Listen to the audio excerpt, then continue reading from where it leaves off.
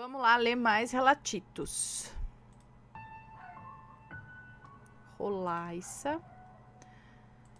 Vamos ler este daqui.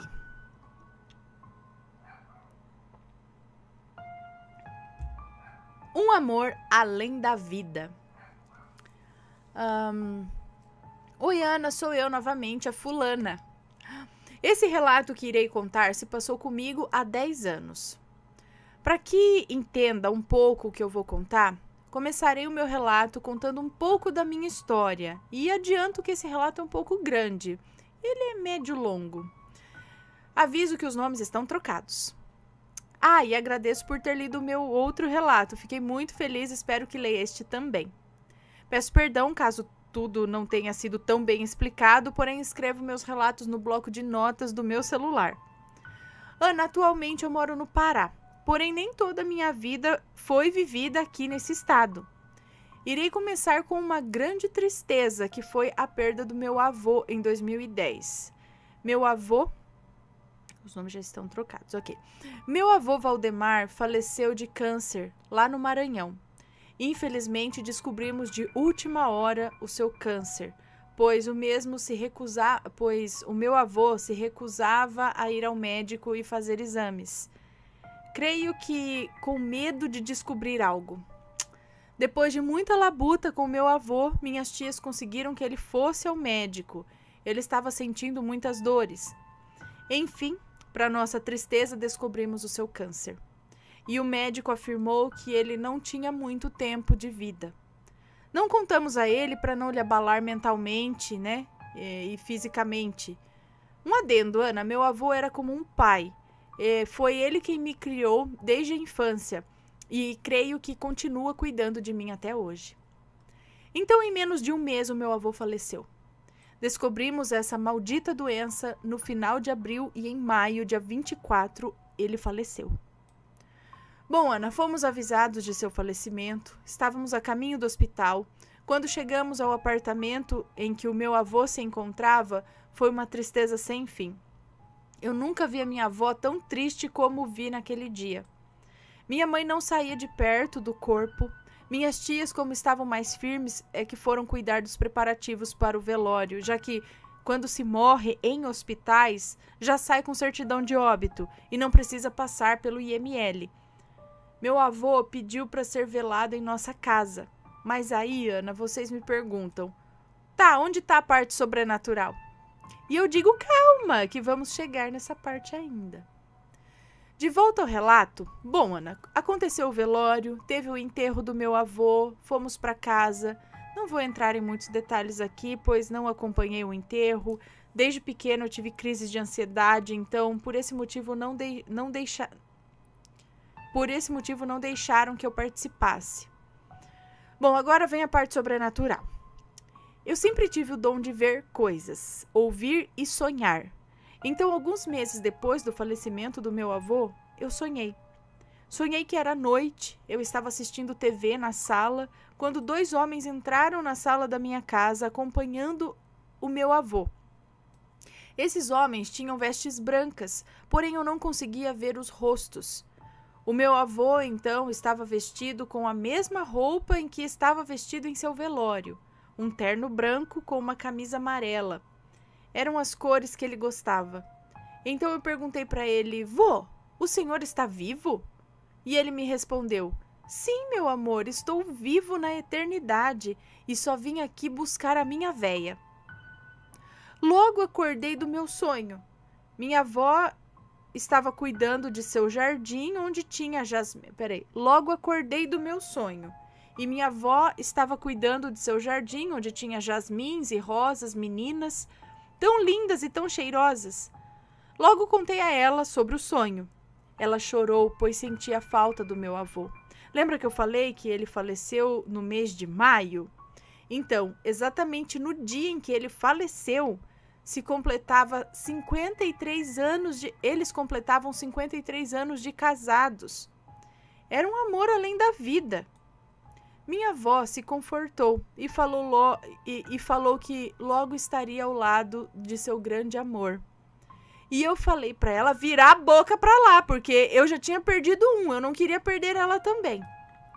Bom, Ana, após o primeiro ano da morte do meu avô, minha avó teve que fazer uma cirurgia de vesícula, onde foi encontrado um tumor benigno. Aí os médicos removeram, porém não encaminharam ela para quimioterapia. Então, no final do ano de 2011, minha avó descobriu um câncer também. Ficamos todos abalados. Pensávamos que não podíamos deixá-la passar pelo mesmo que meu avô passou. Então tratamos de colocá-la no melhor hospital, com os melhores médicos. Logo ela se recuperou, porém não poderia ficar comigo mais. Pois estava muito, pois é, pois estava muito abalada. Assim, então ela decidiu me levar para casa da minha mãe. Peraí. Logo ela se recuperou, porém não poderia mais ficar comigo, pois estava eu estava ou ela estava muito abalada. Sendo assim, ela decidiu me levar para casa da minha mãe. Passei três meses longe da minha amada avó e quando retornei à minha cidade natal, eu não a reconheci, pois ela estava muito magra. O câncer dela tinha se agravado bastante. Dali em diante, eu pensei que eu não poderia perdê-la. Então ela me deu um abraço, foi o nosso último abraço. E uma semana depois ela faleceu. E aqui começa a segunda parte sobrenatural. Eu estava me preparando para ir ao hospital para ficar com ela. Quando chega em casa, é, quando chega em casa minha tia e a minha madrinha, nos avisando de seu desencarne. Meu mundo caiu ali. Era mês de maio a exatos dois dias do início do mês. Peraí. Era mês de maio. A exatos dois dias do início do mês? Era do início do mês de abril? Mas ela faleceu no mês de maio, é isso? Há dois dias do início do mês? Não entendi. Eu só sabia chorar, meu coração doía tanto, pois ela tinha partido. Eu ouvia sua voz me chamando para comer, como quando eu era uma criança, sabe? Então aquilo apertava meu coração como se tivesse sido esmagado. Seu velório não foi na nossa casa como o do meu avô. Tivemos que lhe embalsamar, pois um, um tio meu, o filho mais novo dela, morava do outro lado do país e mesmo pegando voos, as escalas eram demoradas.